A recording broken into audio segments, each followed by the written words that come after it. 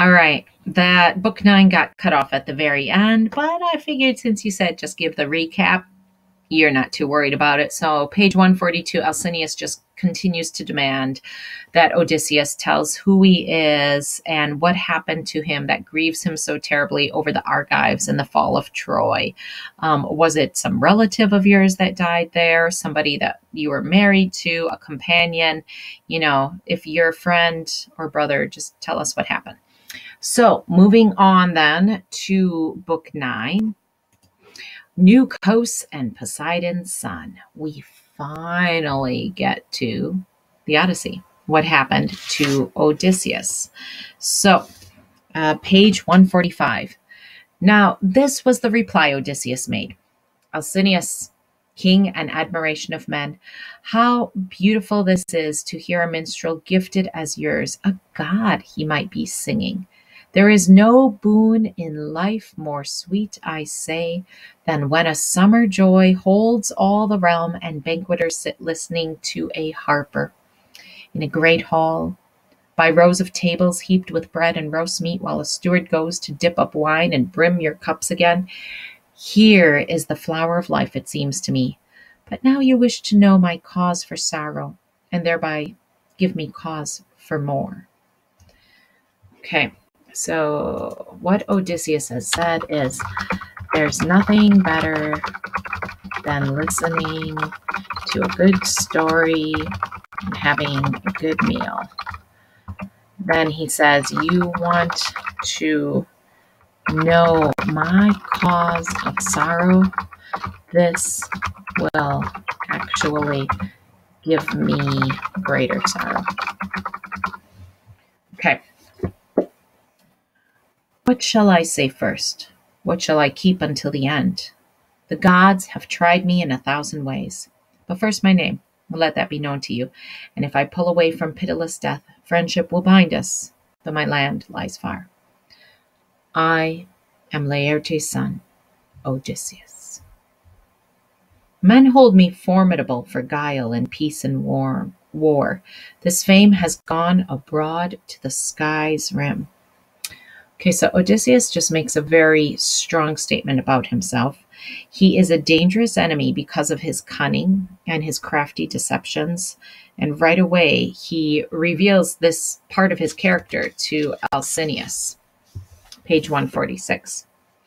My home is on the peaked sea mark of Ithaca, under Mount Neion's wind-blown robe of leaves, in sight of other islands, Dulichion, Same, wooded Zakynthos, Ithaca being most lofty in that coastal sea and northwest, while the rest lie east and south.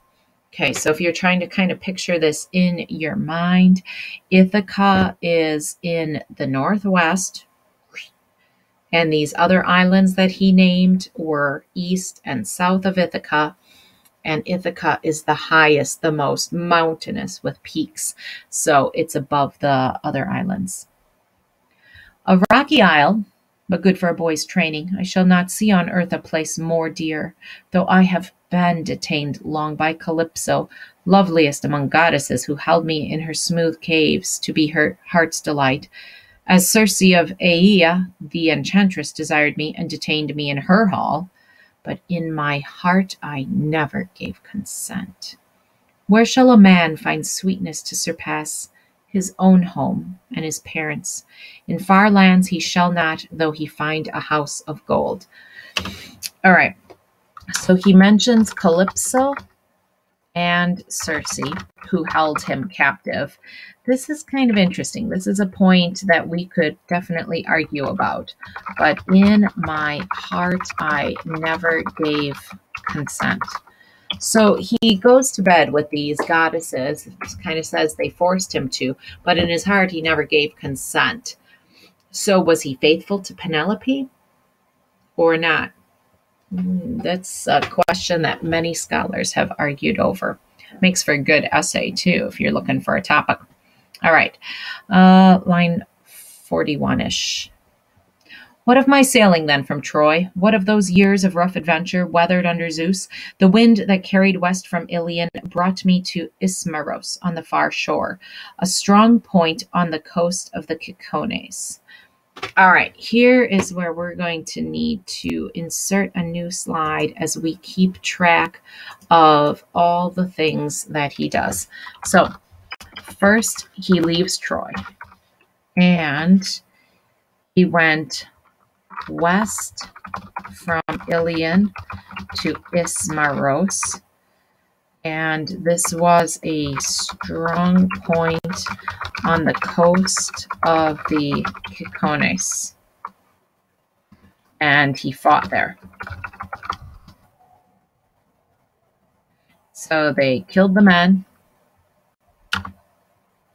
Mm, all commas killed the men, enslaved the women, took plunder. Okay. Um, plunder we took, and we enslaved the women to make division equal shares to all. But on the spot, I told them, Back and quickly out to the sea again. My men were mutinous, fools on stores of wine. Sheep after sheep they butchered by the surf and shambling cattle, feasting while fugitives went inland, running to call to arms the main force of the Cicones. Okay, so here's where the trouble is. Odysseus senses trouble and orders his men back but instead they are greedy and start butchering.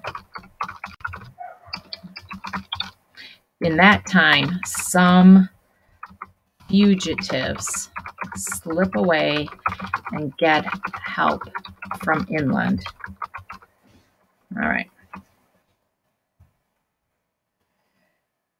This was an army trained to fight on horseback or where the ground re- required on foot. They came with dawn over that terrain like the leaves and blades of spring. So doom appeared to us, dark word of Zeus for us, our evil days. My men stood up and made a fight of it, backed on the ships with lances kept in play. From bright morning through the blaze of noon, holding our beach, although so far outnumbered. But when the sun passed toward unyoking time, then the Achaeans one by one gave way. Six benches were left empty in every ship that evening when we pulled away from death, and this new grief we bore with us to sea. Our precious lives we had, but not our friends. No ship made sail next day until some shipmate had raised a cry three times for each poor ghost unfleshed by the Cicones on that field. Okay, so what ends up happening is Coney warriors come in battle, and many die. And now this is a repeated theme throughout the Odyssey. There's grief and sorrow over lost comrades. All right. I'm Gonna need a new slide, aren't I? Boom. Um, I should have done it the easier way. Okay, so that's kind of the first adventure that takes place. So now we're on page 147, the second chunk of writing. Now Zeus, the lord of cloud, roused in the north a storm against the ships, and driving veils of squall moved down like night on land and sea. The bows went plunging at the gusts, sails cracked and lashed out strips in the big wind. We saw death in that fury, drop the yards, unship the oars, and pulled for the nearest lee. Then two long days and nights we lay offshore, worn out, sick at heart, tasting our grief, until a third dawn came with a ringlet shining.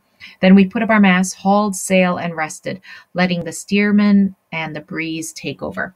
Okay, so Zeus made a big storm, kind of like to drive the point home. And then finally, third day was beautiful. I might have made it safely home that time, but as I came round Malia, the current took me out to sea, and from the north a fresh gale drove me on past Kythera.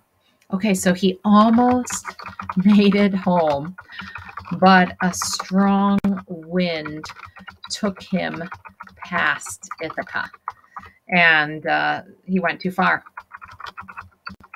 He went too far west.